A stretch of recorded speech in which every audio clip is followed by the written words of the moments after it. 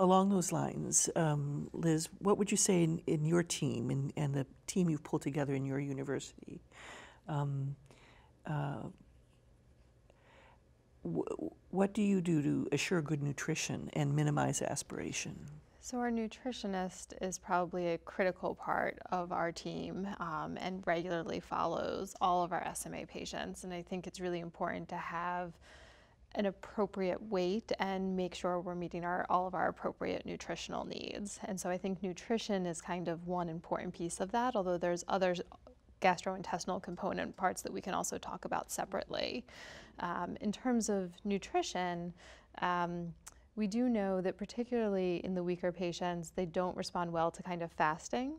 So they frequently do better with smaller snacks throughout the day. And I think you see this in some of the type twos that are kind of going to school and like they really need a little bit of that boost. And so we really work on kind of giving them a little bit more of a protein boost that's more long standing than some of the sugar boosts that most kids would kind of go to uh, right away.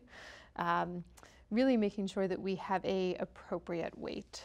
Um, and so that means both avoid being underweight, which is our primary danger in some of our weaker infants, where they may develop feeding difficulties. Um, but in our older patients, a lot of times that also means avoiding being overweight, because for any patient who's weak, carrying around a lot of extra weight can make a lot of those things more challenging as well. So, really, and it's harder to lose calories when you're weak and exercising is kind of more difficult. Um, so really trying to kind of maximize all of that together. Um, I think there's a couple important nutritional components that have to be addressed, in particular vitamin D and calcium, um, given the fact that bone health is a really important thing to think about, particularly in these patients who aren't standing and ambulating. Um, so making sure that we are kind of providing at least that basic um, needs uh, with a vitamin D and calcium, I think is also a critical piece of that. Mm-hmm. Uh, there's also a lot of other gastrointestinal complaints that that I think as neurologists we often are kind of primarily following, um, along with the pediatrician often, and sometimes they escalate to the point where we really need our GI colleagues as well.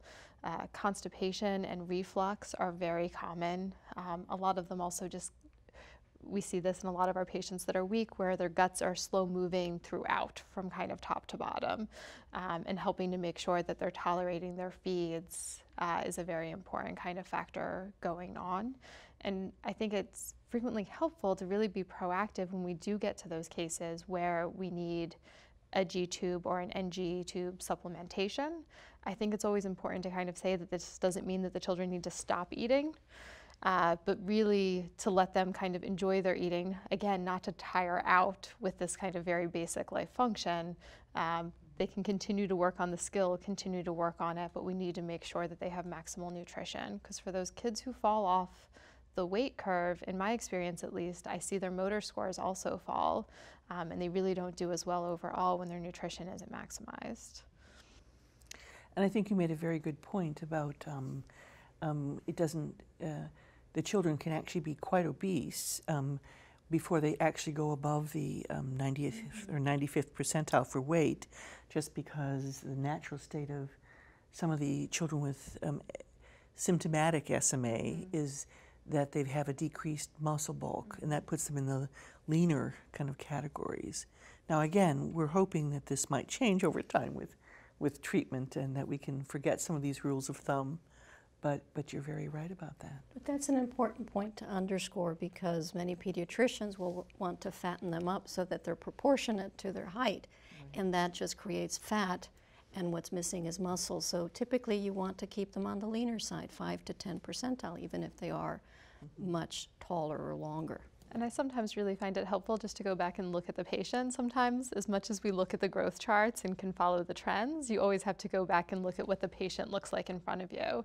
Um, particularly with a lot of our older patients who may have severe scoliosis and contractures, and height is no longer an accurate measurement, um, to really just look at the child in front of you. Yeah.